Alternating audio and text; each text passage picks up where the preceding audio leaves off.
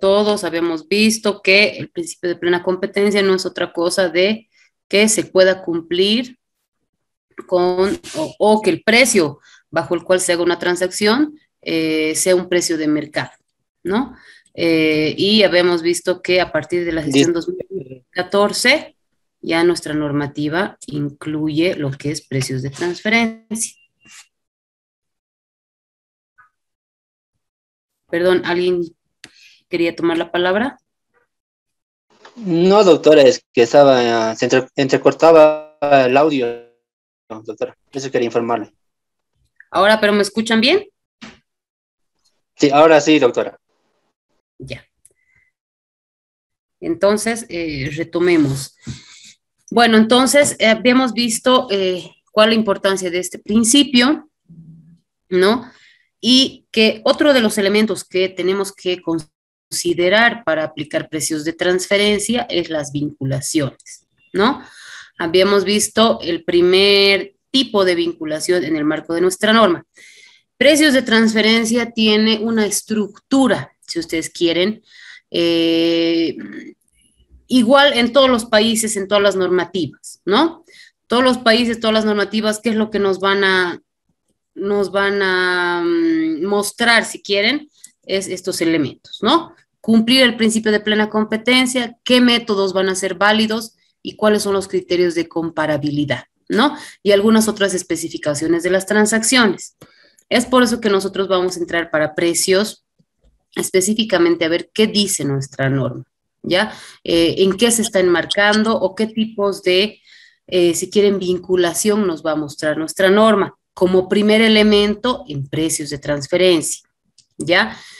El primer caso habíamos visto que es una empresa o una persona natural o jurídica nacional, ¿no es cierto? Nacional que tiene relación con extranjeras, vinculación con extranjeras. Entonces habíamos visto que la vinculación puede ser directa, ¿no? Directa o indirecta, es decir, a través de un tercero. ¿Cuál es el segundo tipo de vinculación. Y esto eh, también tiene la misma relación con, la, con el primer tipo, ¿no? Y ya nos dice, una persona natural o jurídica del exterior participe directamente o a través de terceros en la dirección, control, administración o posea capital en empresas nacionales, ¿no? Sucursales, filiales o subsidiarias del exterior que operen en territorio nacional. Entonces, como pueden ver, es la misma figura, pero al revés. Aquí ya no estamos hablando de una nacional que participa en el extranjero, sino una extranjera que participa acá en territorio nacional, igual, bajo estas mismas condiciones que hemos visto, ¿no?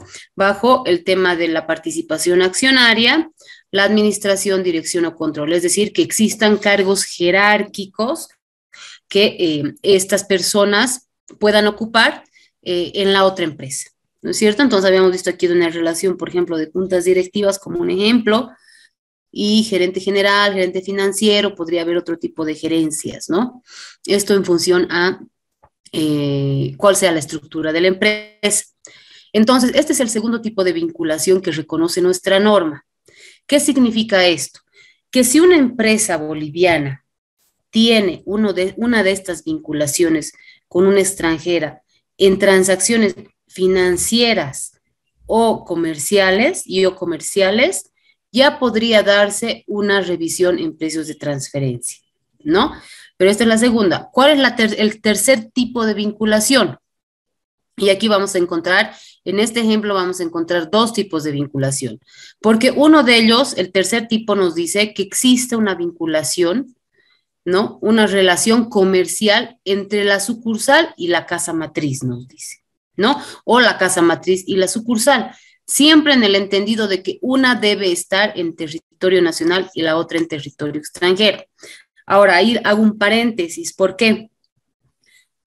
El tema de las vinculaciones y precios de transferencia podría darse posiblemente de manera interna, ¿no es cierto?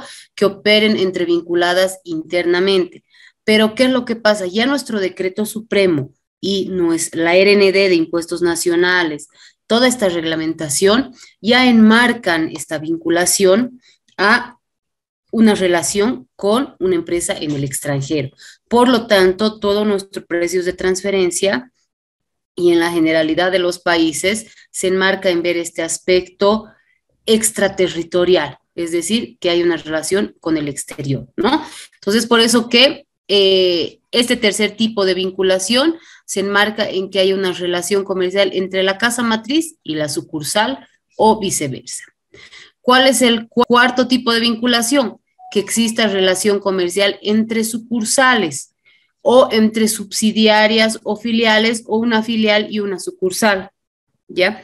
Como habíamos visto, no es lo mismo una filial que, o una subsidiaria que una sucursal, ¿no es cierto? Pero si tienen relación comercial ambas, ya se va a considerar un criterio de vinculación para efectos de precios de transferencia. El quinto tipo de vinculación se enmarca al parentesco. Ya les mencionaba al principio eh, que, por ejemplo, eh, en, los, en las asociaciones o en el tema de determinar el principio de plena competencia, el parentesco puede ser un aspecto que influya, ¿no es cierto? Es decir, que le dé otro aditivo a la transacción. Y justamente en ese marco, nuestra norma reconoce esta vinculación por parentesco y reconoce la vinculación por parentesco hasta el cuarto grado de consanguinidad y segundo de afinidad, ¿no? Entonces, como pueden ver aquí en el ejemplo, estamos hablando de padres, hijos, y como nos habla del cuarto grado de consanguinidad, podríamos llegar hasta este, eh, tíos, ¿no? Eh, o hermanos en todo caso, ¿no? Este, o abuelos, eh, nietos, ¿no? esto en el marco de la consanguinidad. Pero si hablamos de la afinidad, estamos hablando ya de los parientes políticos. Entonces acá estamos hablando de la esposa, el esposo y de los suegros, ¿no? o de los yernos, dependiendo en qué figura me encuentre, digamos. Entonces, como pueden ver, aquí tenemos los dos ejemplos, ¿no? Que aquí el señor X es, eh, eh, tiene una relación con esta empresa B porque su padre eh, forma parte de la junta directiva y su hijo también. Y esto se enmarca en el parentesco por consanguinidad. Y en la junta directiva de A podemos ver que la señora Y tiene a su esposo en la junta directiva de la empresa B y a su suegra, ¿no? Entonces, esto ya refleja una vinculación por afinidad. Entonces, este es el quinto tipo de vinculación que reconoce nuestra norma, ¿no? El primero, habíamos dicho que sea una empresa nacional o, perdón, una persona natural o jurídica nacional que tenga alguna relación directa o indirecta con una empresa del exterior. El segundo, habíamos dicho que es la empresa extranjera que tenga igual una relación directa o indirecta con una persona o con una persona natural o jurídica nacional. El tercero, habíamos dicho que exista una vinculación entre matriz y sucursal o viceversa. El cuarto, vinculaciones entre o transacciones entre sucursales o filiales, ¿no? Este quinto que se enmarca en el parentesco, este puede ser por consanguinidad y afinidad. Y el último tipo de vinculación que reconoce nuestra normativa es las transacciones con países de la tributación. Como les decía, estas regiones también se denominan eh, paraísos fiscales, ¿no? O países o jurisdicciones no cooperantes o jurisdicciones no transparentes. Entonces, pueden encontrar en las listas de los países de, eh, diferente tipo, ¿no? Y aquí como podemos ver, y eh, también algo les comentaba en la anterior sesión, que eh, muchas veces utilizan estas regiones para evitarse el pago de impuestos o reducir su carga impositiva, pero ya como grupo corporativo, ¿no? Y eh, obviamente los países han establecido como un desincentivo, si quieren, en su norma, el uso de estas regiones, y es por eso que eh, este es un criterio de vinculación. Acá puede ser que esta empresa X no, no exista capital, no exista este, junta directiva donde se participe de la otra empresa, puede que no haya parentesco, puede que no haya ninguno de los tipos de vinculación que hemos visto. pero el solo hecho que esté en un país de bajo nula tributación ya lo hace vinculada, ¿no? Eso es lo que establece la norma y la norma de muchos países tiene esta, em, esta disposición.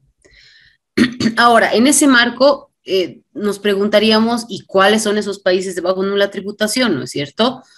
Eh, no hay una lista, si quieren, transversal que emitan las instituciones para definir cuáles son países de bajo nula tributación. Es por eso que eh, la Administración Tributaria, a través de una RND también, que se emite anualmente, en el mes de enero se emite esta RND, se establece una lista de países de baja o nula tributación.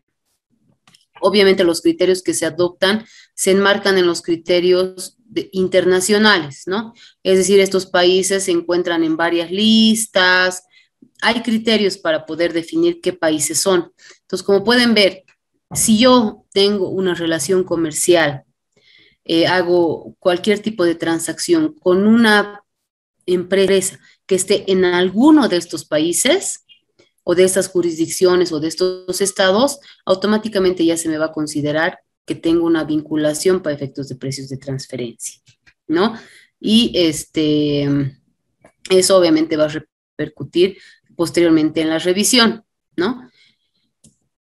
Ahora, ya para un poco cerrar este tema de las vinculaciones, de los seis tipos de vinculaciones como primer elemento para precios de transferencia, podemos ver que eh, otros países tienen otro tipo de vinculaciones. Por ejemplo, consideran la vinculación comercial. ¿Qué significa eso? Que yo como empresa únicamente exporte a X empresa en el exterior, ¿no? Que sea mi único cliente, si quieren, o yo sea el único proveedor de esa empresa. Eh, puede que en muchos países funcione, ¿no? Nuestra norma no considera este tipo de vinculación, y este, bueno, habría que hacer un análisis profundo respecto a esto, porque eh, tampoco somos un país, eh, un gran país exportador, ¿no?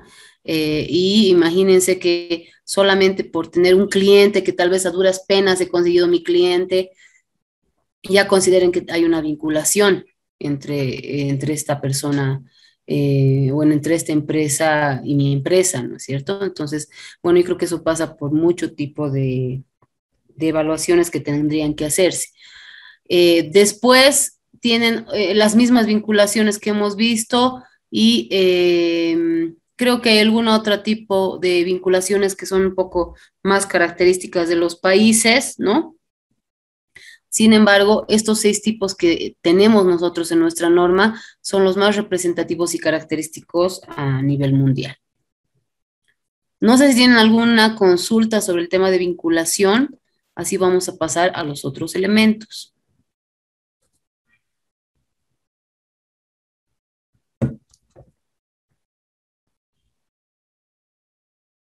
Bueno, vamos viendo qué otros elementos vamos a encontrar en precios de transferencia. La identificación de las transacciones, ya hemos visto que son siempre transacciones comerciales o financieras, no siempre. Ahora, cuando yo ingreso a ver precios de transferencia, voy a ver que existen, tienen que existir comparaciones. Y a ver, yo les pregunto, en esa figura que ustedes están viendo frente a sus pantallas, sea de la computadora o del celular, ¿podré, comparar yo esa manzana y esa naranja? Mm, doctora, disculpar, eh, no está bajando creo las diapositivas en su pantalla en lo que está compartiendo. La pantalla está en la página 9. les cuento que en la mía está normal. A ver, espérenme un momento, voy a volver a compartir.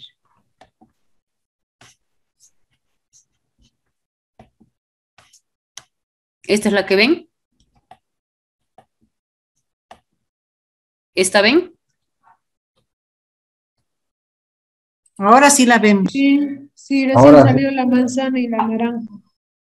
Mm, ya. La manzana. Eh... ¿Será que las puedo comparar? No. ¿Por qué no la podría comparar, Marcelo?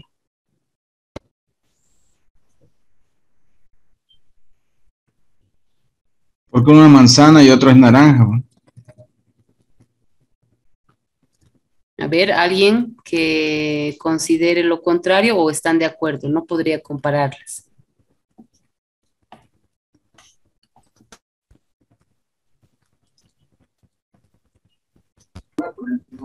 Son diferentes cada una, doctora, en tanto en aspecto físico, en forma, en sabores. Ya. Se puede comparar porque las dos son frutas. Buen punto, Cireli. Sí, bien son frutas, pero no, no tienen los mismos rasgos ni los mismos nutrientes. Pero ahí está el tema de compararla. También todo el mismo grupo.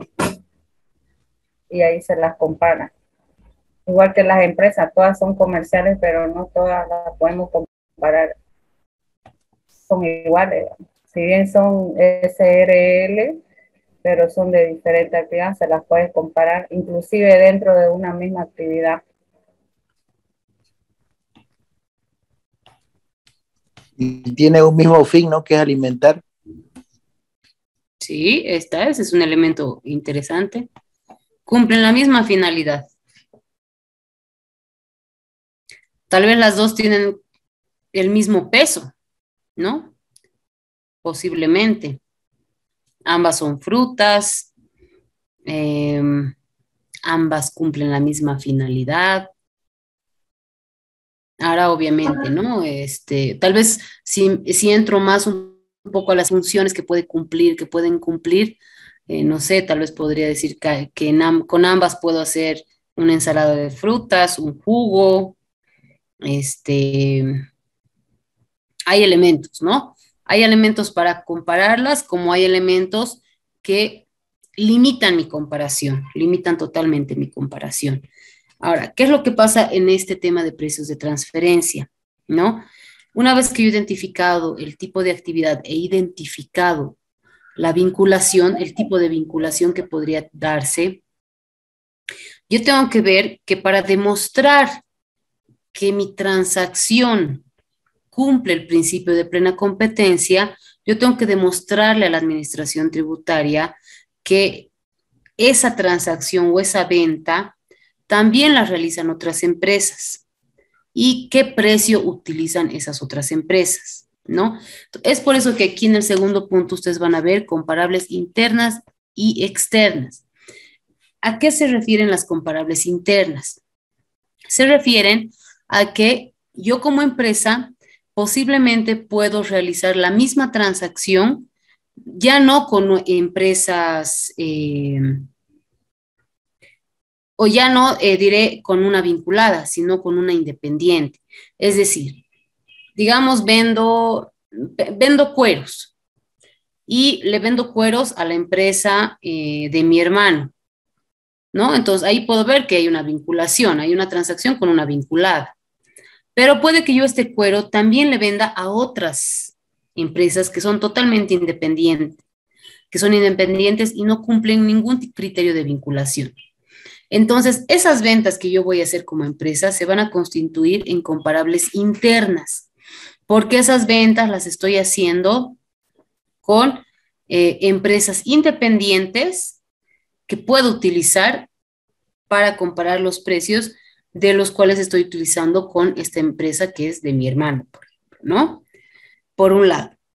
Ahora, ¿qué pasa cuando no existe esa venta más que con mi vinculada o con empresas vinculadas?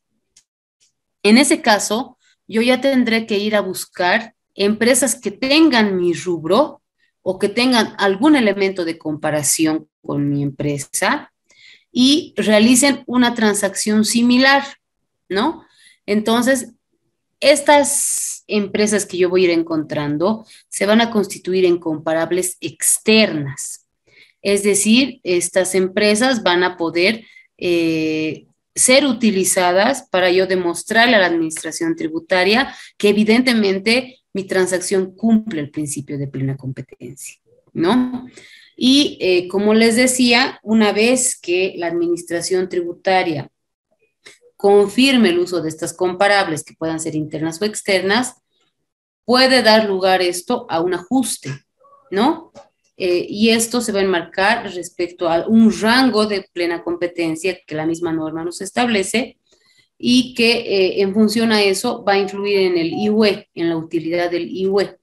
Porque eh, ya les decía, ¿no? Si yo no estoy cumpliendo el principio de plena competencia, ¿cuál va, a ser el factor directo, si quieren, incrementarme el precio? ¿no es cierto? Al precio que haga que yo cumpla el principio de plena competencia. Y esto obviamente va a influir en mis ingresos, va a influir en mi utilidad y va a influir en la determinación de mi IUE. ¿Ya? Entonces, estas comparables externas que eh, la norma nos presenta tienen también algunos otros elementos que vamos a revisar ahora. La norma nos da cinco elementos. La norma, las directrices de la OSD, la legislación comparada, los estándares eh, mínimos o estándares internacionales, nos hablan de cinco elementos que deberían eh, tomarse en cuenta al momento de realizar las comparaciones o al momento de identificar los comparables. Vamos a entrar a estos cinco elementos. Si van teniendo alguna duda, en lo que voy explicando, eh, por favor me interrumpen y hacemos la aclaración. ¿Cuál es el primer elemento, el primer factor de comparabilidad que la norma me va a pedir? Es eh, las características de bienes o servicios, ¿no? En este criterio, sí yo voy a analizar cuál es eh, el elemento fundamental que pueda ser comparable en dos bienes, por ejemplo, ¿no? Ahora, para ver las características de bienes o servicios, también tengo que identificar si son tangibles o intangibles o si son servicios. Y en función a cada uno de estos elementos es que yo voy a ver qué voy a revisar. Por ejemplo, y aquí tenemos ejemplos de eh, las características de los bienes tangibles. En los bienes tangibles, yo voy a tener que revisar, por ejemplo, la fiabilidad del bien, ¿no es cierto? ¿Y por qué aquí en el ejemplo, como pueden ver, está un Mercedes-Benz y un Tata, ¿no? Son marcas, ambos marcas de vehículos, pero posiblemente el Mercedes-Benz me va a generar más fiabilidad que una, un auto Tata, que tal vez acá en nuestro medio no sé qué tan conocido pueda ser, pero ya en, un Mercedes-Benz nosotros sabemos que es un auto, mm, si quieren, con mayor, em, es un auto caro, ¿no? Este, mm, tal vez es una mejor marca, ¿no? Eh, y en, este en este elemento de la fiabilidad, también vamos a ver que está inmiscuido un intangible. Y eso, de alguna manera, siempre va a influir en el precio, ¿no? Eh, la, eh, ¿cómo se dice? Lo o sea, la, se me dio el término, perdón. El prestigio que haya ganado la marca, por ejemplo, va a influir dentro de lo que es la venta del bien y va a influir en el precio. Es por eso que uno de los elementos que yo voy a considerar cuando vea la característica del bien o servicio, en este caso del bien, va a ser la fiabilidad. ¿Qué tanta fiabilidad genera en el mercado este bien? y cuánto eso influye en el precio, ¿no? Porque imagínense que yo me ponga a comparar, no sé, una empresa Toyota eh, o Toyosa en realidad, nuestra, la empresa que hay acá en Bolivia, y la compare con Rentacard, eh, no sé, Autito, digamos, ¿no? Puede que desde varios aspectos, considerando varios aspectos, no sea una comparable como tal. ¿no? Pero eso va a depender de qué voy a yo analizar en la venta de los bienes que está realizando. No puede que ser, puede que este rentacar no ni siquiera venda autos Toyota. Entonces, obviamente, eso también va a influir en mi evaluación. Otro elemento que va a ser importante va a ser el volumen. No es lo mismo que yo venda toneladas de café a que venda una tonelada de café, ¿no? Eso también va a influir, el volumen va a influir porque eso puede eh, generar que se disminuya el precio cuando yo esté realizando una venta. Y por último, la disponibilidad. Y es por eso que aquí en el ejemplo ustedes ven un desierto donde una botella de agua realmente eh, va a tener bastante demanda. a diferencia de, eh, no sé, una ciudad en la que voy a encontrar bastantes tipos de marcas de agua, bastantes presentaciones, etcétera, ¿no es cierto? Donde el precio inclusive puede tender a bajar.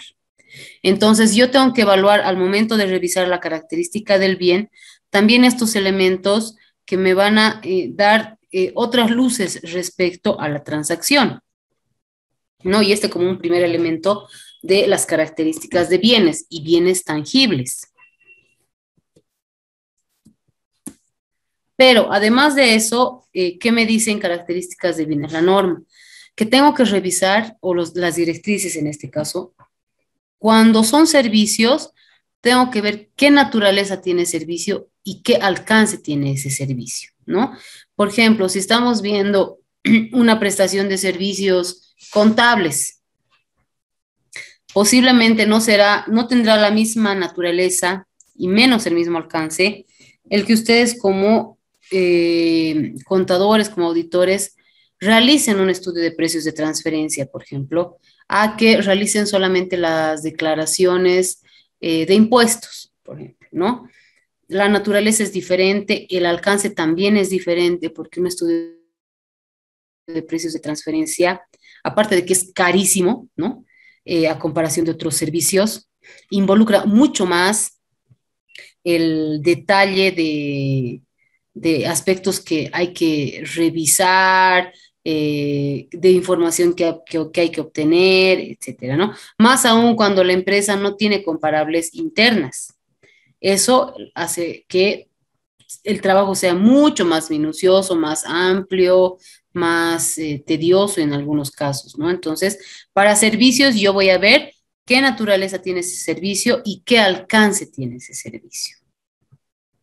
Y por último, cuando yo vea bienes intangibles, aquí estamos hablando de marcas, estamos hablando de este, patentes, ¿no? Eh, de todo bien intangible, que obviamente puede que yo no encuentre, que no encuentre, perdón, una comparable, es decir, no encuentre la venta exacta de un bien o que no haya similitudes eh, de bienes intangibles. La característica, digamos, que tiene un intangible es que muchas veces va a ser único. ¿No es cierto?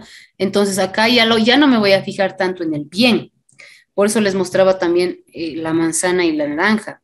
Porque, por ejemplo, en intangibles, yo ya no voy a ver lo que a la vista salta, ¿no? Ya no me voy a entrar o ya no voy a entrar a revisar eh, la similitud del bien como tal, sino ya voy a entrar a revisar los detalles y las condiciones bajo los cuales se ha generado ese intangible. Y eso también va, eh, va a repercutir en el tipo de metodología que yo voy a utilizar para revisar esta comparable, si quiere, ¿no? Entonces, si yo tengo empresas que también han hecho la venta de un intangible, pónganse un software, algún tema así, yo ya no voy a ver qué hace el software, voy a ver cómo se ha realizado, qué empresas han o qué partes de la empresa han han invertido, en qué proporción, si todo el intangible se ha hecho, digamos, solo en la casa matriz, se ha hecho en las sucursales, cómo se ha hecho, ¿no? Entonces, en intangibles yo voy a considerar detalles y condiciones. Ese como el primer elemento del análisis funcional. ¿Cuál es el segundo elemento del análisis de, las, mm, de los factores de comparabilidad? Perdón. Es el análisis funcional. ¿Qué es el análisis funcional? Es que yo verifique qué hace la empresa, qué actividades tiene la empresa. Es decir, yo voy a ver ya la estructura de la empresa. Puede ser comparable o no puede ser comparable, ¿no? En el ejemplo que, les decía eh, de eh, la empresa de venta de autos de Toyota versus eh, la empresa pequeña que yo encuentro, un rentacar, digamos, ¿no? Puede que la actividad sea la misma, venta de autos, pero la estructura de la empresa no es la misma. Y ese ya va a ser un factor para que yo descarte o acepte esta comparable. ¿no? Em, o, digamos, el ejemplo más común que a veces usamos es, yo por ahí no voy a poder eh, comparar pollos Copacabana con la, venta de pollos de la esquina, ¿no es cierto? Tienen estructuras diferentes esas dos empresas. Entonces, el análisis funcional ya no va a ir a revisar los bienes que estoy transando, ya no va a revisar la venta de ese bien. Lo que va a ir a revisar es cuál es la estructura que tiene la empresa, qué funciones se cumplen en la empresa, qué frecuencia hay o qué naturaleza tienen estas funciones, ¿no? O qué valor la empresa le asigna a estas funciones. Por ejemplo, industrias que son ya mucho más grandes tienen un área de investigación, tienen un área de control de calidad, ¿no es cierto? Puede que eh, dentro de esta empresa tenga, además del marketing, además de las, del área de recursos humanos, etcétera, tenga eh, también otras eh, áreas de transporte, ¿no? De envío, no sé. Eso va a ser importante al momento de que yo pueda identificar comparables, ¿no? El análisis funcional que yo voy a identificar en la empresa me va a dar una, va a ser relevante para ver si yo puedo comparar o no la empresa.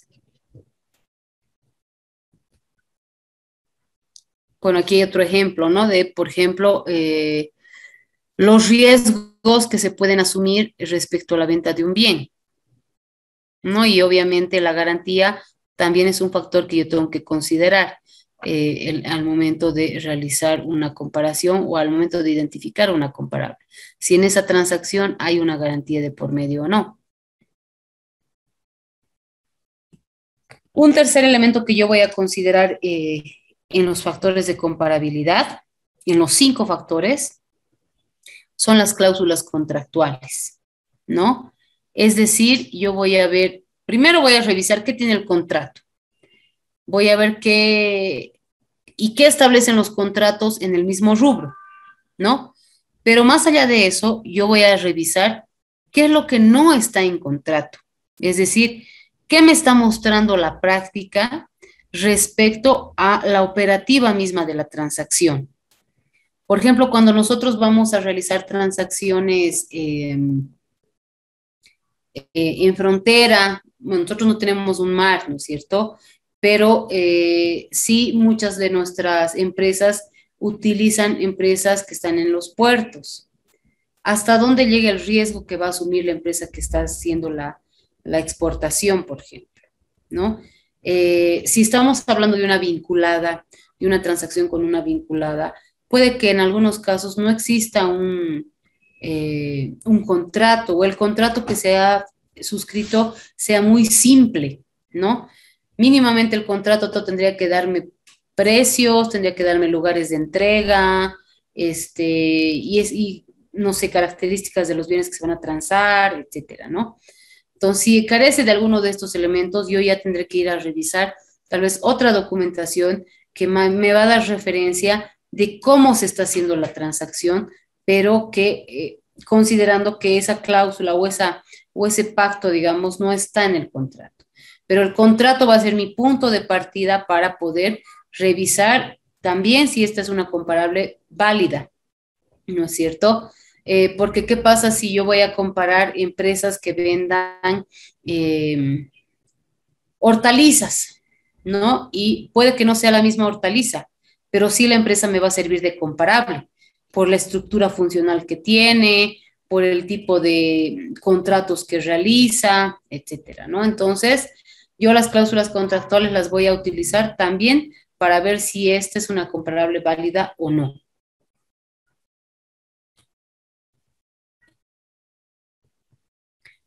Otro elemento eh, que va a ser eh, importante van a ser las circunstancias económicas. Este es el cuarto factor de comparabilidad que voy a considerar, ¿no? Que son las circunstancias económicas.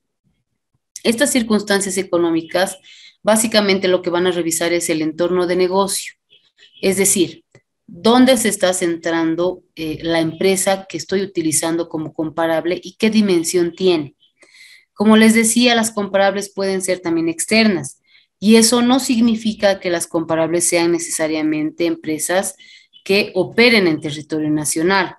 Yo puedo utilizar comparables de empresas que eh, se desarrollen en los países vecinos o inclusive se desarrollen en otro continente, ¿no? Es por eso que eh, para poder yo identificar comparables, la información va a ser fundamental.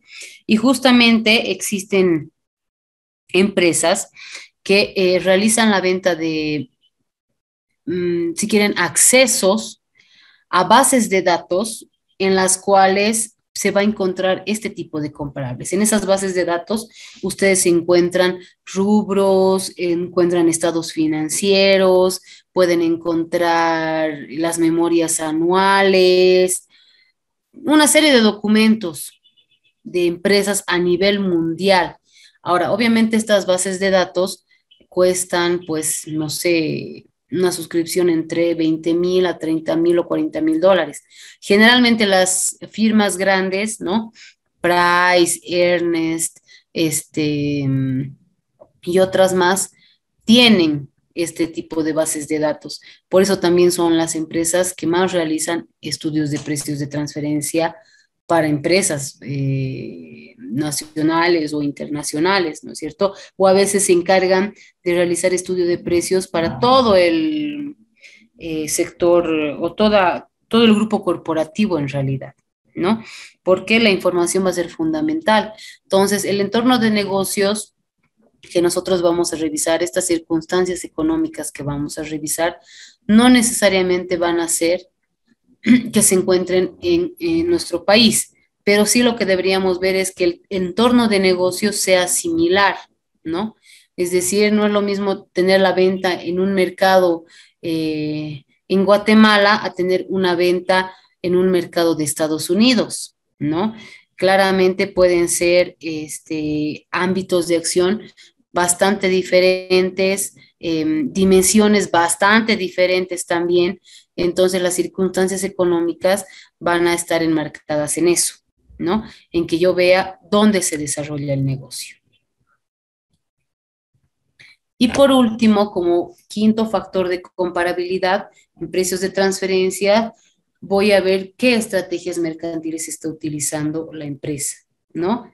La empresa es nueva, no es nueva, cómo compite en el mercado, cómo eh, implementa su estrategia para competir en el mercado, ¿no? Entonces, esto básicamente vamos a ver con las multinacionales o las transnacionales.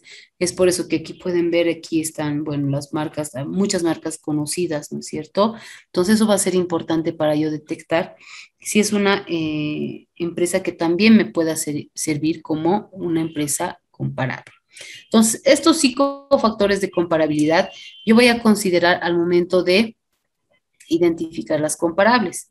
Les reitero, ¿no? Puede ser que las comparables que yo utilice sean empresas que estén en otro continente inclusive, ¿no? Que realicen básicamente la misma operación. Ahora, ¿cómo yo podría enterarme, digamos, que hay empresas como la mía que realizan esta transacción?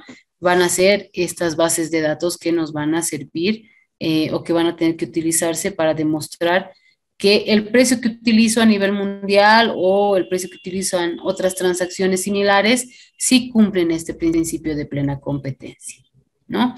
No sé si hay alguna consulta hasta ahí, algún, algo que no se esté entendiendo para que lo vayamos a repetir.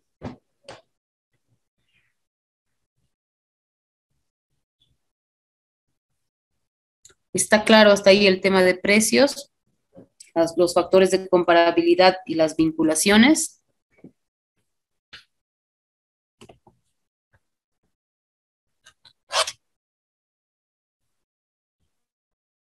Ya, entonces, bueno, em, como parte de las estrategias mercantiles, voy a ver el grado de competencia que se tiene, la posición competitiva, eh, si hay una disponibilidad de los bienes, ¿no? Y qué niveles de oferta y demanda en el mercado eh, se van a encontrar, ¿no? Esto va a ser importante para que yo pueda eh, medir el precio que se tiene. Una vez que yo tengo identificado lo que son las vinculaciones, tengo identificados cuáles son los factores de comparabilidad, si voy a utilizar comparables internas o externas, yo tengo que demostrar como contribuyente qué método voy a utilizar, ¿no? Porque justamente por esta mm, eh, variedad que tenemos en los mercados respecto a venta de bienes, de servicios, las características tan específicas que pueden tener ciertas transacciones, existen métodos que no se van a centrar específicamente en el bien, ¿no?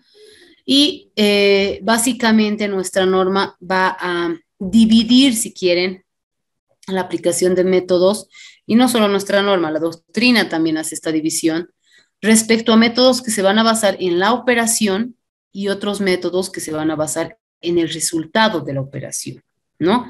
Cuando yo estoy hablando yo de los métodos basados en las operaciones, estoy eh, refiriéndome a que sí voy a evaluar la transacción como tal. O sea, sí, me, va a ser la punta de lanza, como se dice, esa transacción. Sin embargo, hay, eh, hay otras transacciones que por las características no me van a permitir hacer eso. Y es por eso que me voy a basar en comparar resultados. Ya no voy a comparar la transacción como tal. Entonces, ¿cuáles son los métodos basados en operaciones? Vamos a ver que el primer método es el CUP o el em, precio controlado, el método del precio controlado. También tenemos el, precio, el método del precio de reventa y el método del costo incrementado o adicionado. Estos como métodos basados en operaciones. Ahora, nuestra norma reconoce un sexto método, ay, perdón, Un sexto método que hace mención al precio notorio en transacciones en mercados transparentes. Pero este método principalmente se va a enmarcar en lo que son los commodities, ¿ya? Entonces, generalmente las empresas que hacen transacciones de commodities van a utilizar este método. ¿Qué pasa con estos primeros cinco? A ver, vamos viendo un poquito a qué refieren cada uno de estos métodos. El método CUP o del precio controlado sí va a comparar el bien, ¿no? Y va a comparar el precio que estoy aplicándolo al bien o que estoy aplicándole al bien. Ahora, aquí hay un ejemplo del el café. ¿Por qué? Porque el método del precio controlado se va a aplicar también a commodities o a bienes que tengan ya un precio, eh, si quieren, estandarizado a nivel mundial. El café, por ejemplo, tiene un precio estandarizado, ¿no? Y eh, nos dicen, los mercados de café nos dicen que la tonelada de café está a 100 dólares. Pero si, eh, si bien si el café es eh, de procedencia de países como Colombia, la tonelada además va a recibir de los 100 dólares 2 dólares por lugar de procedencia, ¿no? Es decir, 102 dólares la tonelada. Sin embargo, si el café no fuera de Colombia, también puede estar, eh, o sea, si fuera de otro país, ¿no? Eh, tendría que estar 100 dólares la tonelada. ¿Qué significa esto? Que si yo soy una empresa que vende café, entonces eh, mi precio más o menos debería estar entre 100 dólares o tal vez algo más. Eso haría que yo cumpla el principio de plena competencia. Entonces, ¿qué es lo que yo voy a hacer como empresa? ¿No? Voy a decir, sí, yo le vendo eh, café a mi relacionada en México, pero además le vendo café a esta otra empresa colombiana o eh, estas empresas, este, no sé, peruanas, se venden café y la tonelada está a 100 dólares, 101 dólares, 102 dólares, ¿no? Y ahí yo voy a demostrar que yo realizo la transacción, pónganse en 103 dólares la tonelada. ¿No? Entonces, ¿eso qué va a demostrar? Que, yo sí estoy utilizando el principio de plena competencia, es decir, mi precio sí está como precio de mercado. ¿Qué pasaría si yo eh, muestro, muestro, no muestro, sino eh, mis transacciones muestran que la venta del café la estoy realizando en 95 dólares la tonelada, ¿no? A mi parte vinculada.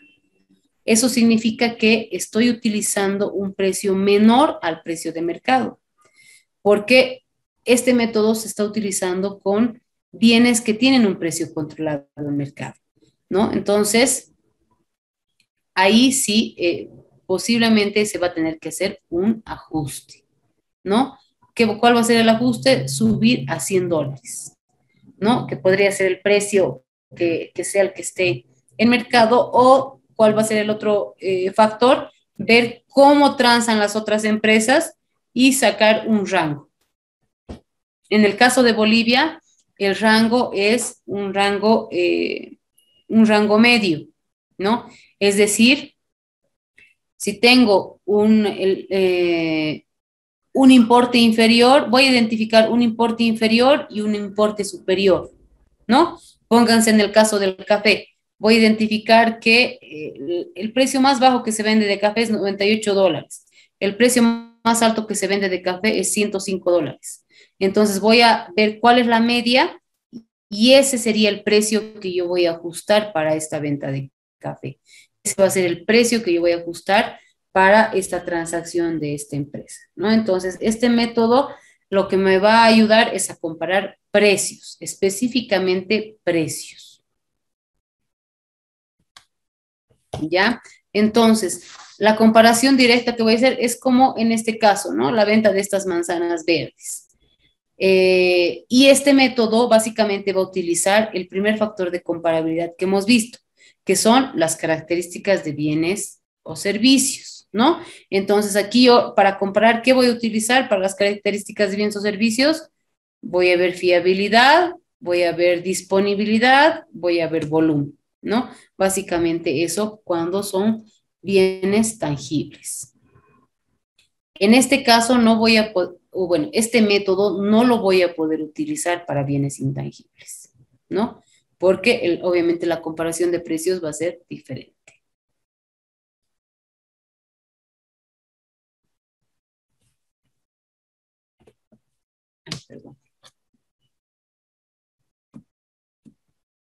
¿Cuál es el segundo método que se puede utilizar? Es el precio de reventa. ¿Ya? Ahora, aquí, ¿qué es lo que voy a comparar? Si bien voy a comparar también el precio, lo que voy a comparar básicamente va a ser el margen bruto, ¿ya? El margen de utilidad que yo voy a obtener.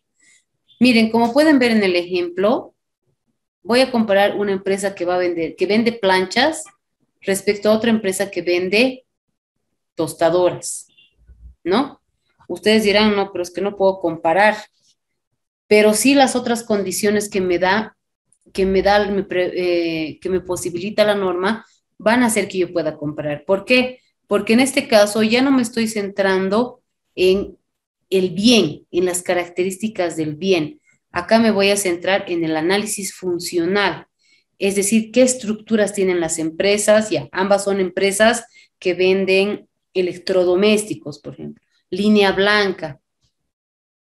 Eh, ¿Y cuál es el margen eh, que obtiene cada una de estas empresas. Entonces, como pueden ver, en las, las relacionadas me van, me van a demostrar que hay un margen del 30%. Y las independientes, si yo verifico que las comparables, que son empresas independientes, tienen el mismo margen, ¿no? Llegan al mismo porcentaje de margen, entonces obviamente puede ser una comparable que yo voy a utilizar, ¿no? Entonces, al igual que en el anterior método, este método no lo voy a aplicar para intangibles, no puedo aplicarlo para intangibles, pero en este método sí voy a considerar el análisis funcional, ¿no? Voy a eh, considerar estructuras, funciones, este, frecuencia en las actividades, el valor que le está dando cada una de estas empresas, eh, ¿no? Y eh, cómo están desarrollando en definitiva sus sus actividades en realidad, ¿no? Entonces, este método me va a eh, servir mm, desde ese punto de vista.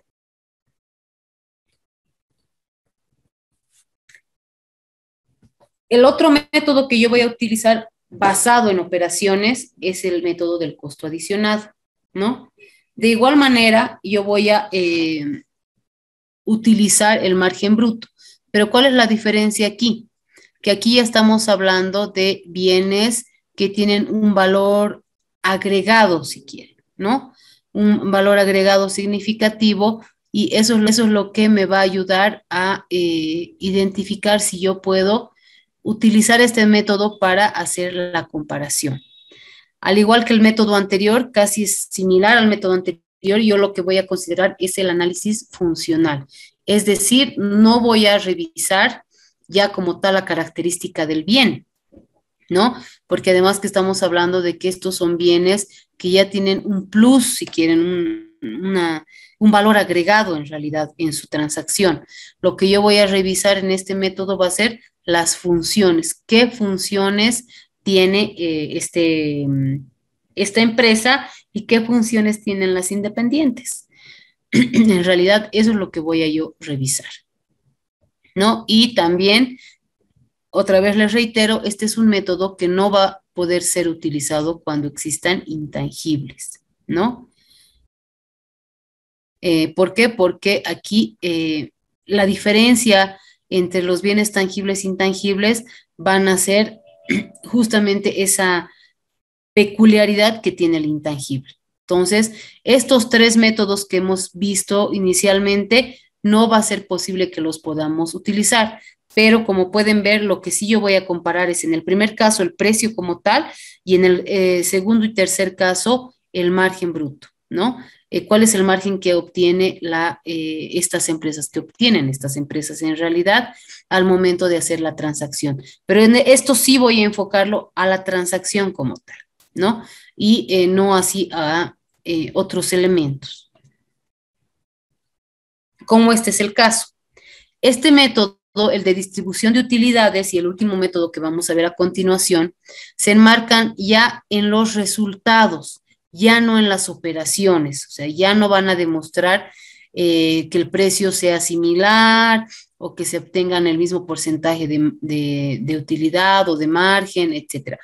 lo que va a hacer este método de distribución de utilidades es básicamente comparar la utilidad operativa, es decir, si yo tengo un intangible, ¿no? Si un grupo multinacional ha generado un intangible y yo tengo, digamos, la participación de tres partes de este grupo multinacional. Vamos a poner como está en la pantalla A, B y C. La empresa A se encuentra en un país, la empresa B en otro y la C en otro. Pero la empresa A únicamente ha dado la idea para el intangible. La empresa B ha desarrollado el intangible, por ejemplo.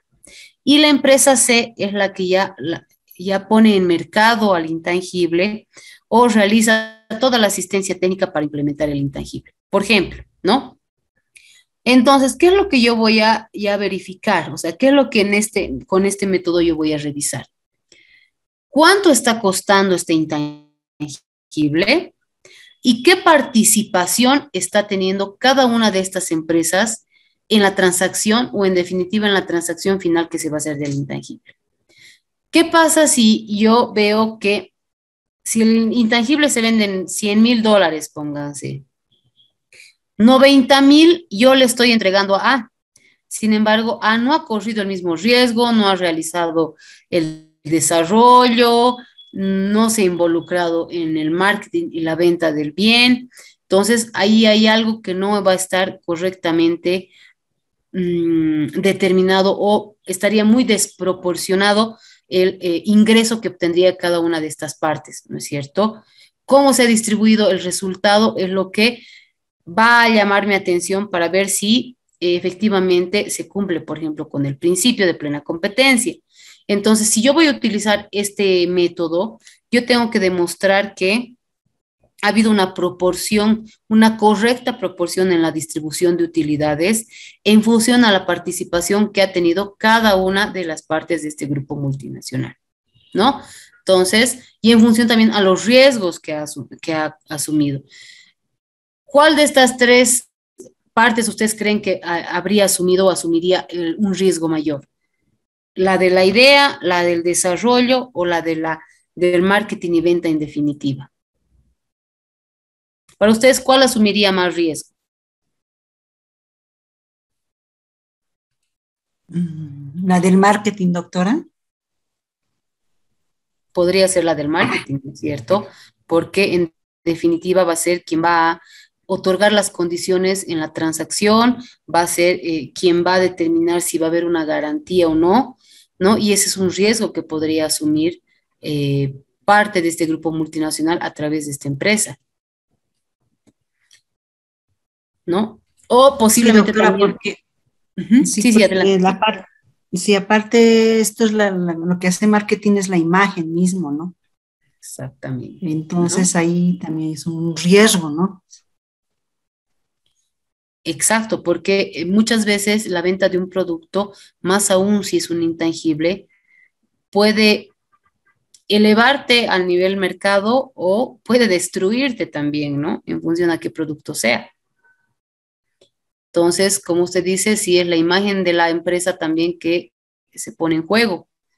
Y eh, también el, evaluar, el asumir una garantía respecto a lo que se está eh, promocionando, eh, también hace que exista un riesgo mayor, ¿no?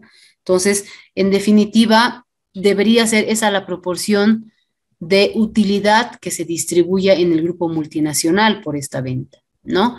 Eh, en función a qué riesgos, en realidad, qué participación tiene cada uno de los involucrados en este aspecto. Ahora, en el tema de eh, distribución de utilidades, sí hay otros elementos que ya son más, eh, más complicados de definir, ¿no? Porque muchas veces podemos encontrar transacciones de intangibles que ni siquiera han salido a la venta. ¿no? O intangibles que no están terminados, por ejemplo. Entonces, obviamente, ahí eh, la, revisión que tengamos que hacer va a ser un poco más detallada, ¿no? Si quieren. Porque para este método, ahí sí yo, ¿qué es lo que voy a utilizar? Voy a utilizar también la característica del bien, pero en intangibles hemos visto que lo que vamos a utilizar van a ser el detalle las condiciones bajo las cuales se está desarrollando, ¿no? Por un lado. Por otro lado, yo lo que voy a utilizar va a ser las cláusulas contractuales. Ese va a ser otro elemento importante para yo poder identificar cómo se está realizando la transacción, ¿no? Ahora, el entorno económico, las circunstancias mercantiles también van a ser mm, tal vez un elemento fundamental, pero más allá de eso, el análisis funcional que yo pueda hacer de la empresa me va a ayudar también a determinar dónde se encuentran, digamos, eh, las instancias más significativas en cuanto al desarrollo del intangible. ¿No? Entonces, ya en, esta, en este tipo de métodos como es la distribución de utilidades, y paso a este también porque básicamente va a ser lo mismo, ¿no? Porque también va a, va perdón, evaluar la utilidad operativa. Eh, entonces eh, sí va a considerar la totalidad de los factores de comparabilidad. Ahora, este tipo de métodos que también em, lo que va a enfocar es el resultado, ¿no? Tanto este método que es distribución de utilidades como el margen neto va a enfocar lo que es el resultado, pero en este caso, en este método, vamos a ver la utilidad operativa, ¿no? y eso va a ser en función a ya no solamente este, la venta como tal del intangible, por ejemplo, ¿no? Viendo ya un tema de intangibles, sino también va a considerar eh, otros costos, otras ventas, en realidad va, a eh, considerar toda la utilidad operativa y eso es un poquito más eh, disperso, si quieren, al momento de utilizar este tipo de métodos, ¿no? Generalmente las empresas utilizan este método del margen neto, pero eh, no siempre la administración tributaria llega a estar, eh, si quieren, de acuerdo con la utilización de este método. Lo que hay que considerar al momento de una evaluación de precios de transferencia es que la administración tributaria de cualquier país puede refutar muchas veces lo que es comparables utilizadas ¿no? Evaluación utilizada para las comparables y también metodologías utilizadas, ¿no? Puede decir, no, no correspondía a este método, correspondía en este otro. Ahora, ¿cuál es el detalle con nuestra normativa? A nivel mundial, en las normativas, ustedes van a ver que eh, muchas veces se tiene un descarte de métodos. Es decir, si yo no voy a utilizar el CUP, debo decir por qué no aplica, ¿no? Si no, eh, como este no aplica, tengo que entrar al precio de reventa. Si no lo voy a utilizar, tengo que justificar por qué no aplica. El costo adicionado y así, voy descartando y voy entrando y, fundamentando a qué método voy a ingresar. Sin embargo, nuestra normativa no establece esta condición de descarte siquiera. No, eh, hay un poco más eh, de libre albedrío del contribuyente en determinar qué método es el que está utilizando y el por qué, sin entrar a mencionar por qué no utiliza los otros métodos. Pero, ¿cuál es el, digamos, algo que sí se ha visto? Es que sí hay contribuyentes que justifican el por qué no utilizan los otros métodos y eso qué hace? Respalda aún más el estudio de precios de transferencia que está presentando, ¿no? Ahora, si bien tenemos estos cinco métodos, voy a volver a la diapositiva que nos habla, eh, bueno, que tenemos en nuestra normativa y vamos a ver un poco este sexto método, ¿no? Que es el eh, método de precio notorio en transacciones en mercados transparentes que les decía que es un método que igual va a comparar precios de bienes, pero va a ser un método que más que todo se lo va a utilizar en, para la venta de commodities. ¿Cuál es la dificultad de este método? Y a la fecha, ¿por qué no se lo ha aplicado? Ni contribuyentes lo han podido aplicar eh, tal vez con certeza. Porque este método nos dice que se va a utilizar el precio en, eh, utilizado en la fecha de embarque, ¿no? ¿Y cuál es la falencia en nuestra norma? No tenemos definición de fecha de embarque. ¿Y dónde se complica el tema? ¿No? Eh, y bueno, em, no sé si ustedes tienen tal vez alguna experiencia con este tema de, la exportación, pero eh, por lo que nosotros eh, evaluábamos y veíamos, la fecha de embarque puede ser muy diferente si, yo, si yo no la establezco con precisión. Porque yo puedo considerar la fecha de embarque el momento que sale de territorio nacional, puedo considerar la fecha de embarque el momento que se empieza a embarcar en, en buque, en container, ¿no? Puedo considerar fecha de embarque el momento que sale el barco de puerto, ¿no? O, este, o puedo enfocarme en el momento que sé que los riesgos que estoy asumiendo como empresa se trasladan a la otra empresa. ¿No? Como pueden ver, en la fecha de embarque pueden haber muchos momentos. Ahora, algo que nos decían, ¿no? Dependiendo qué bien estoy vendiendo y la cantidad que estoy vendiendo, yo puedo iniciar el embarque de la mercancía hoy, 6 de octubre, pero puede estar terminando el embarque de la mercancía el 7 u 8 de octubre, ¿no? Por la cantidad del bien, por el tema de permisos, documentación, etcétera, por muchos factores.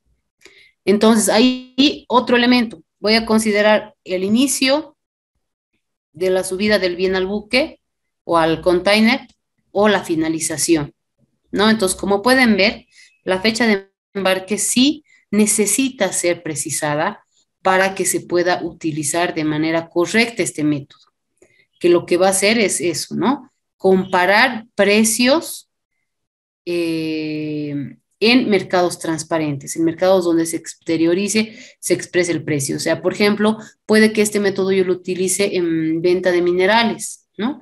Los minerales tienen una cotización o de ciertos otros bienes. Eh, más o menos, este método es una variación del primer método, del CUP, ¿no? Solo que tiene esta particularidad que señala nuestra norma, que es decir, eh, considerar el precio de la fecha de embarque, ¿no? Y a ver, eh, les pido ahí su criterio, ¿no? Ustedes qué, ¿cómo determinarían la fecha de embarque? Para ustedes, ¿qué sería lo correcto en fecha de embarque? Y así yo les digo, les, les comento mi criterio también.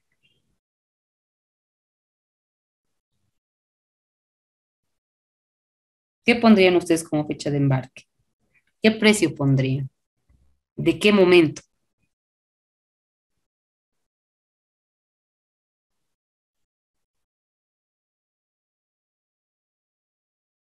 A ver.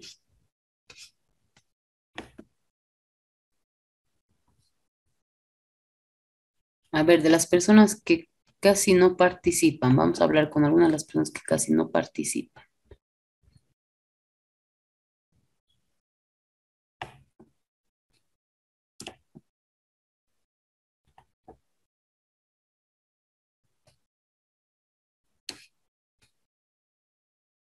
Silvia Emma.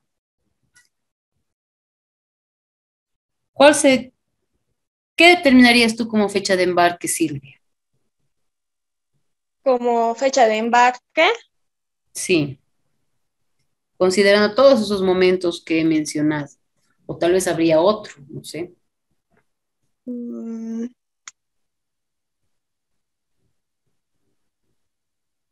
¿Qué sería para ti fecha de embarque? Ah, la fecha de embarque es el barco, ¿no ve? Donde transportan este, las mercancías, ¿no? Que va a ir a otro país. Ya, pero tú en qué momento definirías la fecha de embarque? Mm, ¿En qué momento? Yo creo que se puede en cualquier momento. ¿Qué? Yo creo que se puede en cualquier momento.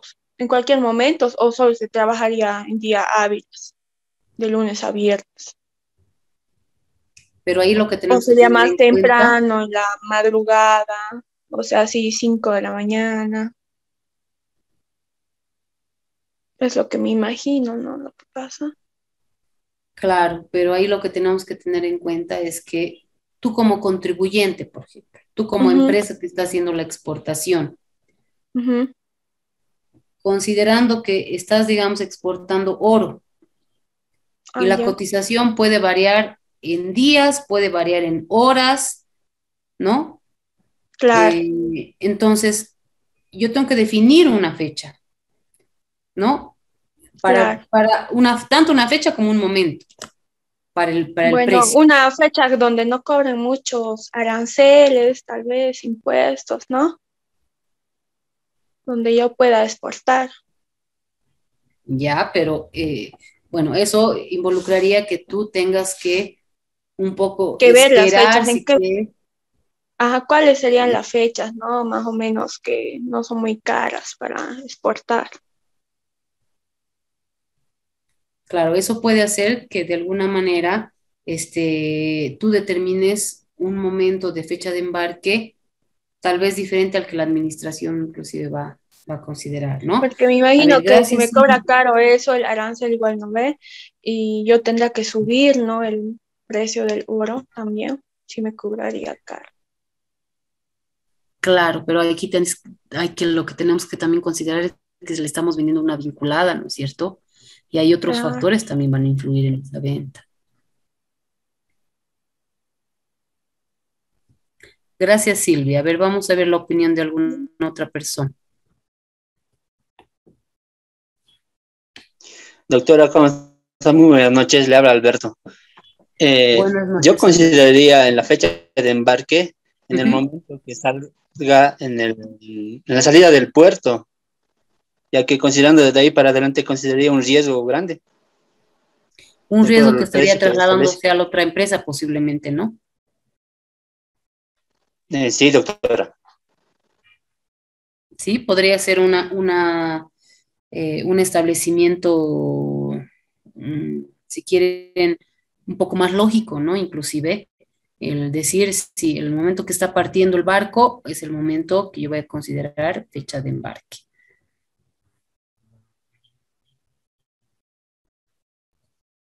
¿Qué opina César Andrés? Doctora, buenas noches. Eh, pueden haber hartos criterios, ¿no? En el ámbito aduanero más que todo, porque, bueno, a ver, si hablamos de fecha de embarque, personalmente yo lo consideraría que en el momento en el que está subido a borda del buque, ¿no? Si así si se va a transportar por vía marítima o si procede a transportarlo por vía terrestre cuando se pone el contenedor sobre el camión. No obstante, pueden haber otros criterios, ¿no? en este tema de exportación. Otros pueden ponerlo como el momento de embarque cuando se declara, ¿no? No sé, algún documento de embarque, por ejemplo, que es el Bill of Lading, la guía aérea o el CRT, en el momento de que se hacen esos documentos. o también cuando se declara la, la DEX, ¿no? Que es la declaración de exportación. Ahí son criterios, ¿no? Que van jugando, pero personalmente yo lo pondría cuando se pone a borda del buque, a borda, o cuando está sobre el camión, o se ha ingresado la mercancía sobre algún medio de transporte. Ese sería mi criterio, ¿no? Pero como le digo, esos criterios pueden ir en función a, cada, cada pensamiento, no sé, de, de los técnicos en el tema aduanero. Exacto, ¿no? Bueno, en definitiva, una norma reglamentaria va a tener que definir la fecha de embarque, ¿no? Porque evidentemente se puede definir esto en función al riesgo que va a asumir la empresa, ¿no? O la otra empresa, o cuando dejo de asumir como empresa nacional el riesgo, ¿no? Que es un elemento bien importante el momento de demostrar eh, cuándo haya habido una transferencia de dominio, por ejemplo pero eh, lo que sí, digamos, hay que evitar también es la manipulación que podría darse en este tema, ¿no? Justamente ahí, digamos, el decir, si yo lo dejo solamente al tema de riesgo, yo en contrato puedo establecer cualquier cosa, ¿no?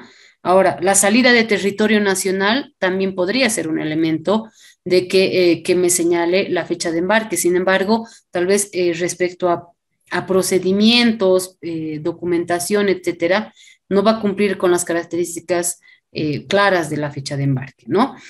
Pero bueno, en definitiva, este elemento es el que ahorita está limitando el uso de este método del precio notorio en transacciones en mercados transparentes, ¿no? Es por eso que a la fecha no se está utilizando este método y qué es lo que prefieren utilizar las empresas, son el método del precio comparable no controlado, que como pueden ver también lo que va a hacer es em, comparar precios, ¿no? Pero sin entrar a, esta, a este aspecto que es la fecha de embarque.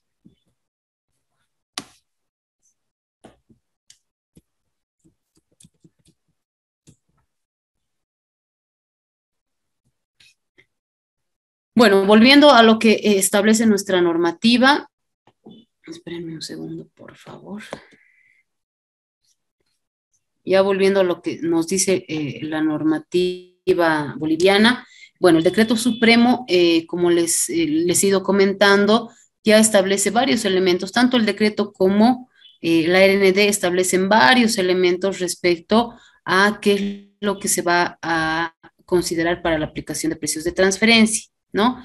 Entonces, em, así como hemos visto estas eh, cinco características o factores de comparabilidad, van a ver que eh, en el decreto supremo se habla también de verificar en el análisis de comparabilidad las características de los bienes, las funciones que asumen las partes eh, en, las, en la relación comercial que tienen, la identificación de riesgos que asumen, ¿no? los términos contractuales, eh, las características del mercado u otros factores económicos y las estrategias eh, perdón, comerciales eh, que tenga la empresa. ¿no? Entonces, como pueden ver, estos elementos que señalan o señala el decreto supremo son los mismos que hemos visto de manera más simple en los factores de comparabilidad. Estos factores de comparabilidad los van a ustedes encontrar en las directrices de la OSD también, ya con mucho más amplitud y con mucho más este, detalle en aplicación y ejemplos en aplicación, ¿no? Ahora, estos cinco criterios puede que no sean los únicos, pero ¿qué es lo que pasa? ¿Qué es lo que dice nuestra normativa? Nuestro decreto supremo ha establecido eh, la creación de un comité técnico de precios de transferencia. Por lo tanto, cualquier modificación a la norma o cualquier otro criterio, en este caso de comparabilidad, que se pudiera utilizar, solamente va a estar eh, eh, sujeto a la eh, evaluación o análisis de este Comité Técnico de Precios de Transferencia. ¿Quiénes conforman este Comité Técnico de Precios de Transferencia? Lo conforman la Aduana Nacional, el Servicio de Impuestos Nacionales y el Viceministerio de Política Tributaria como ente, eh, si quieren, tutor o que tiene bajo tuición a estas dos otras instituciones como son la aduana e impuestos, ¿no? Como ente normativo va a estar el Viceministerio de Política Tributaria y como entidades operativas estas dos para poder eh, ampliar estos criterios de comparabilidad. Las vinculaciones también pueden ser ampliadas por este comité técnico y también eh, este comité técnico es el que tendrá que realizar una evaluación profunda para determinar, por ejemplo, la fecha de embarque, ¿no? ¿Qué más dice nuestra norma? Y esto es importante, nos dice que eh, vamos a, se van a generar dos obligaciones o dos deberes formales, que son la declaración jurada, el formulario 601, y la presentación del estudio de precios de transferencia, tanto físico como digital. Estos son dos elementos que nos establece la norma, ¿no? Pero no todos los contribuyentes presentan estos, estas dos obligaciones eh, formales, es decir, no todo contribuyente que tenga una transacción con partes vinculadas va a estar sujeto a esta revisión de precios de transferencia. ¿Qué nos dice eh, la norma? Nos dice que quienes tengan operaciones con partes vinculadas dentro de una gestión anual entre 7.5 millones y 15 millones de bolivianos, debe presentar el formulario 601, ¿no? Es decir, que si se tiene operaciones, transacciones con las partes vinculadas que sumadas sean más de 7.5 millones, deben presentar el formulario 601 eh, y ese, ese sería el deber formal. Ahora, ¿qué pasa si yo paso de los 15 millones? yo lo que debo hacer es presentar el formulario 601 y además presentar mi estudio de precios de transferencia. Eh, y este estudio de precios de transferencia tiene que ser tanto físico como digital, ¿no? Tiene que haber una presentación física en la jurisdicción, en la distrital de su jurisdicción, puede ser distrital o graco de su jurisdicción, ¿no? Y además un envío del estudio de precios a través de la página web. Generalmente los contribuyentes Aquí lo que hacen es un envío en PDF, ¿no? Y los plazos de presentación van a estar eh, asumidos en función al vencimiento del IUE, es decir, junto con el IUE se debería hacer esta presentación del formulario 601 y del estudio de precios de transferencia en los casos que correspondan, ¿no? Y bueno, la declaración eh, jurada, que es este formulario 601, se lo va a enviar a través de la oficina virtual, al igual que los otros formularios que tenemos. Ahora, ¿qué pasa si yo soy una empresa que no cumplo con las condiciones? O es decir, mis transacciones no superan los 7.5 millones o los 7.5 millones, pero tampoco, eh, pero sí se enmarcan mis operaciones en precios de transferencia. O sea, tampoco dejo de cumplir esas circunstancias de precios de transferencia. Entonces, ¿qué me dice la norma? que si bien no voy a presentar ni el estudio ni el formulario, tengo la obligación de conservar esta documentación eh, para una revisión posterior, en caso de que la administración tributaria entre a revisar. ¿No? Y como todo deber formal tiene, o todo incumplimiento al deber formal, tiene una sanción. Sí. Ahí está, Sofi. Eh, no, no, no, Perdón. Ya, ya me lo consiguieron, ya me lo consiguieron.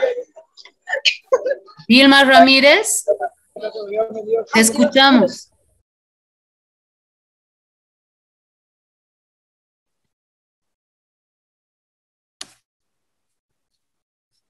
Bueno, Vilma creo que quería participar y luego se ha arrepentido. Bueno, entonces, como les decía, como todo deber formal eh, tiene, y el incumplimiento de estos deberes tiene una sanción, bueno, obviamente eh, las, las, sanciones que se están aplicando, que se aplican actualmente para los incumplimientos de la presentación tanto del EPT como del 601, eh, tienen una uniformidad en su aplicación, tanto para personas naturales empresas unipersonales, personas jurídicas, ¿no? Y este, y, e, incluso aquí las sanciones que se aplican en Bolivia son mm, bastante bajas a comparación de las sanciones que se aplican eh, a nivel internacional, ¿no? En el entendido que, como ustedes han podido ver, estamos en presencia de eh, realmente empresas que tienen un poder adquisitivo grande, ¿no es cierto? Yo creo que no todas nuestras empresas en Bolivia tienen eh, una utilidad o una transacción o transacciones que superen los 15 millones en un año, ¿no? Es bastante. Entonces, y, bueno, eso también nos demuestra la cantidad de, empresas que en la actualidad eh, presentan precios de transferencia, que generalmente son las multinacionales, ¿no? Generalmente son las transnacionales, multinacionales, en las que eh, las determinaciones, no solo en Bolivia, sino a nivel mundial, son eh, millones, ¿no? Y inclusive esto hace que, mm, esto hace que exista ajustes entre administraciones tributarias o se generen normativas, ¿no? Que, por ejemplo, eh, se establecen muchas veces en convenios internacionales, alguna vez en convenios de doble imposición, en los que se establecen una cláusula que si un país hace un ajuste, ¿no? El otro país reconozca ese ajuste y ese, reconocimiento del ajuste puede ser una disminución de la base imponible del otro, del otro estado, ¿no es cierto? O de la empresa que está en el otro estado. Entonces, eh, en precios de transferencia se puede dar estas circunstancias de eh, ajustes correlativos, ¿no? Entre países. Que un país reconozca el ajuste que está haciendo el otro país. Obviamente eso puede eh, disminuir la carga tributaria en su país, ¿no? Y muchas veces, si no es de ida y vuelta esto, mm, puede ir también en perjuicio del otro país. Entonces, esto pero tiene que estar establecido en una normativa. ¿Ya? Entonces, precios de transferencia, básicamente va a ser eh, ese reconocimiento de que el precio que estoy utilizando se encuentre como precio de mercado, que cumple el principio de plena competencia, para eso eh, voy a considerar vinculaciones, los factores de comparabilidad, qué tipo de comparables estoy utilizando y qué metodología voy a utilizar. No sé si hay alguna consulta ahí ah, al respecto.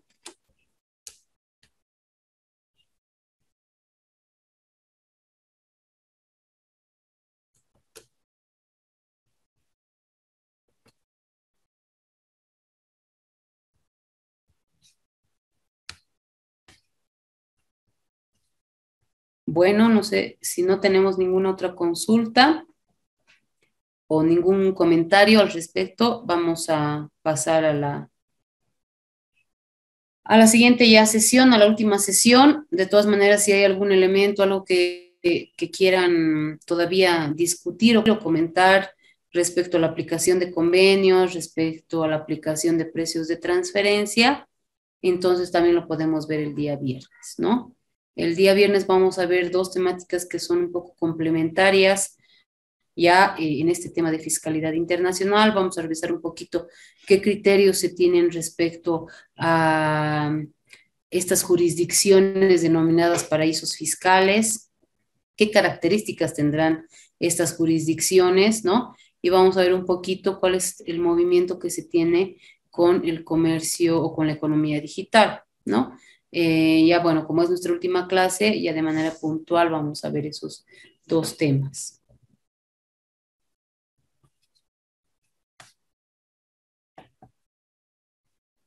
Bueno, les agradezco entonces por su atención. Doctora, y una consulta respecto al foro 4, los, los, factores, prácticamente lo que hemos desarrollado en la diapositiva, sobre eso tendremos que realizar nuestra opinión. Sí, sobre esos factores. En realidad esos son los cinco factores reconocidos a nivel eh, mundial, como les digo, ¿no? Que inclusive en las directrices los van a encontrar. Ya, doctor. Y en cuestión a la, al, del foro 3, el control de precios de transferencia en Bolivia, ¿también es una opinión propia o algún material anexo que podemos buscar para responder la pregunta? Eh, sí, en realidad sería una opinión propia, ¿no? O sea, a ver, eh, lo que tenemos que tener en cuenta es que estamos hablando de, en todo caso, controlar a empresas transnacionales, multinacionales, ¿no es cierto? Entonces, ¿ustedes cómo considerarían que podríamos identificar estas transacciones? Porque ahorita a ver qué pasa, hay algo que, que, hay que considerar es que si yo, digamos, eh, no declaro, no declaro mi estudio de transferencia, la administración o cualquier país tiene que eh, revisar varios elementos, ¿no? La información, como les decía, es un factor bien importante para controlar, ¿no? Entonces, ustedes pueden partir de esa premisa o pueden partir, eh, no sé, de algún otro tipo de, de factor que consideren eh, que pueda ser, digamos, útil para verificar estas transacciones que son con partes vinculadas, ¿no? Siempre en el, entendido que estamos hablando de em, transacciones con proporciones realmente importantes, ¿no es cierto? Entonces, es una opinión básicamente de ustedes respecto a eh, qué posición adoptarían para controlar este tipo de transacciones. Gracias, doctora. De nada, Zulema.